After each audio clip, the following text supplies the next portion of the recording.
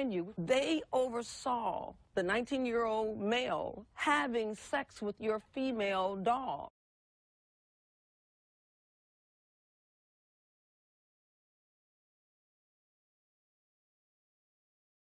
Are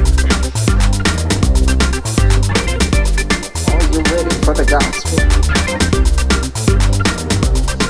The Bible tape.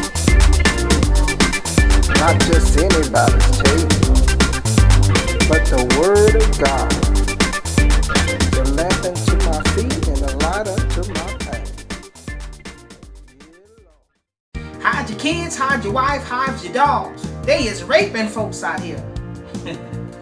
so the story is this young man is is uh, is paid well this this lady paid off this the schooling for this young man to finish off school and all he had to do was assist her in helping around her house and and you know and she paid off his school but turns out the young man decides to rape two of the women's female dogs wow.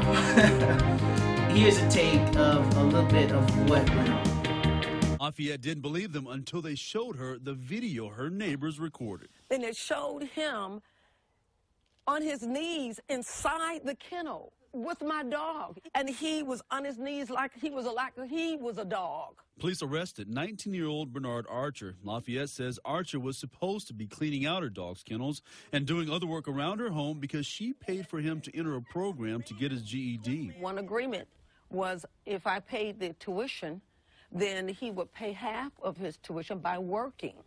You know, here, you know, at my uh, you know, home or whatever I had for him to do. And Saturday was his first day to start working. Lafayette trusted Archer and she introduced him to her dogs. Now she feels she let her babies down. Wow. Wow.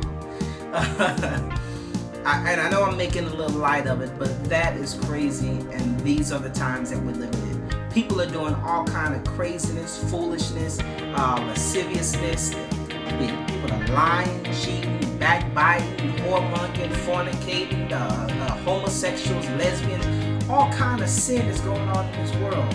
The, the Bible says that when you see hear about wars, rumors of wars, you know, you see uh, uh, right has become as wrong and wrong has become as right. The Bible says to look up for your redemption draweth nigh. I can promise you that Jesus is not far soon to come. He's about to crack the sky and you need to make sure that you're ready.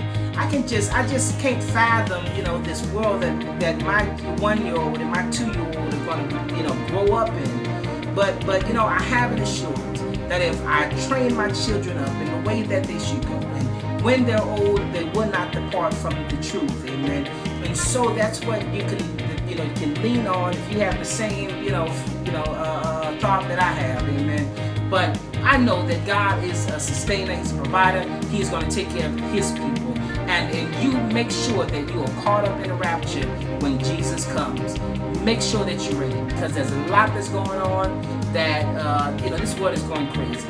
And finally, I want to always remind you, as usual, that God specializes. He specializes in, in, in, in any situation that you may be going through you know, addiction to drugs, alcohol, pornography, uh, uh, uh, anger issues, emotional issues, depression, oppression. You know, if there's some strongholds in your life that are holding you back, God specializes in those situations. I thank you and, and always remember that God specializes.